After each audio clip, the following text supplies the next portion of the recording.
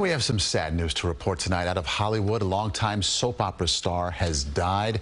Jerry Douglas played the patriarch, John Abbott, on the CBS daytime drama The Young and the Restless.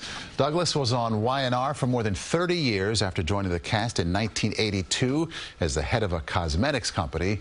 Jerry Douglas passed away in Los Angeles. He was 88 years old.